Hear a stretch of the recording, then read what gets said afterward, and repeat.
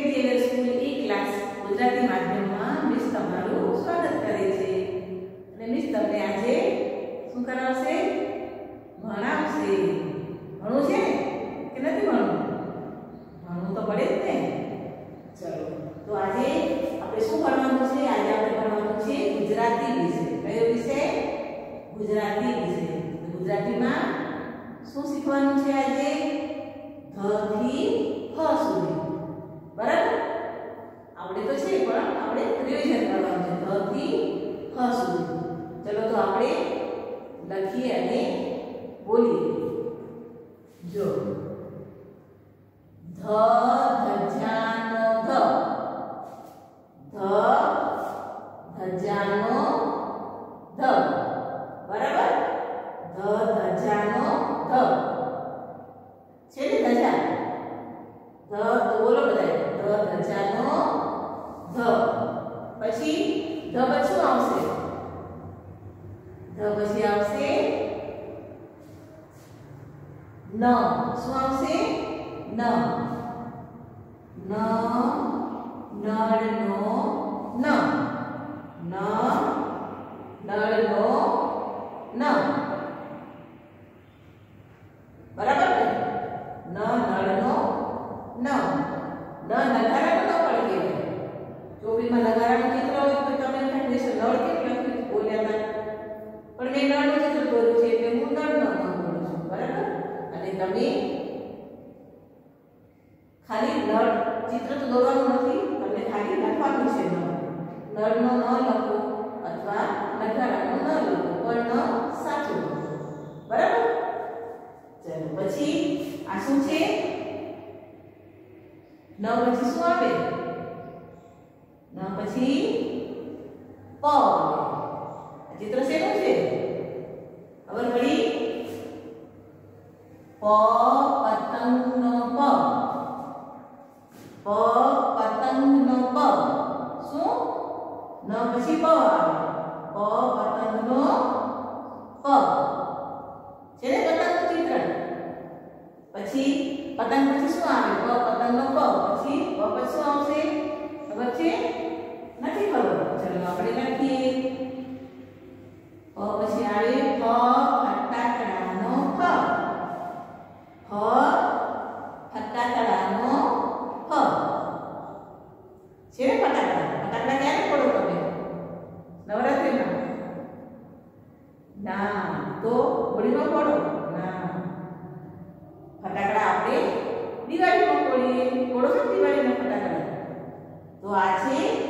ફ ફટાકડાનો ફ બરાબર બોલો ધ ધજાનો ધ ન નળનો ન પ પતંગનો પ અને ફ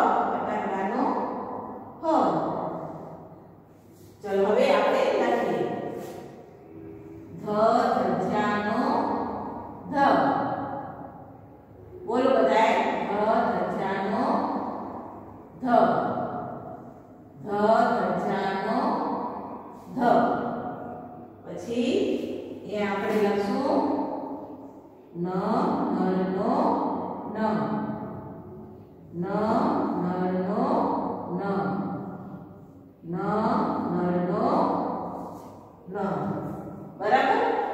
પછી અહીંયા શું લખશું? પ, પતંગનો પ પ પતંગનો પ પ પતંગનો પ બરાબર પછી અહીંયા શું લખશું? પ ફટાકડાનો હ. હ ફટાકડાનો હ. હ ફટાકડાનો હ. બરાબર? આ બધું મિસે બોર્ડમાં લખ્યું. અને બાળમિત્રો ક્યાં કરશે સ્લેટમાં. બરાબર? તમારે સ્લેટમાં લખવાનું. પણ તમારે આ બધા ચિત્ર દોરવાના નથી તમારે ખાલી લખવાનું છે ચોપડીમાં આપણા ચિત્રો દોરેલા છે એટલે ચોપડીમાં તમે જોજો તો ચિત્રની સાથે તમને વાંચવાની મજા આવશે બરાબર ને બાકી સ્લેટ સ્લેટમાં અને બોર્ડમાં તમારે ચિત્ર દોર્યા વગર લખવાનું છે ચલો હવે આના પછી આ વિશે તમને શીખડાવ્યું હવે મિસ તમને ઘરકામ પણ આપશે બરાબર ને ઘરકામ શેમાં મળશે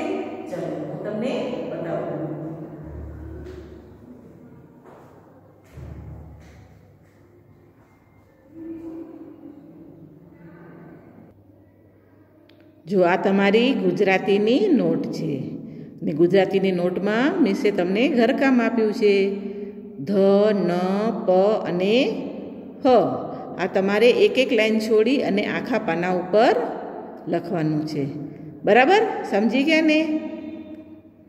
આટલું તમારે ઘરકામ કરવાનું છે. આખા પાનામાં લીટા પાડી તમારી નોટમાં પણ તમે આવી જ રીતે લીટા પાડજો. અને લીટા પાડી અને સરસ રીતે બોલી બોલી અને સારા અક્ષરે લખવાનું છે. ચલો બાળમિત્રો, આટલું ઘરકામ કરી લેજો. પછી આપણે ફરી મળીશું. ત્યાં સુધી બધાએ પોતપોતાનું ધ્યાન રાખજો અને ઘરમાં રહીને ભણજો અને રમજો. ચલો આવજો.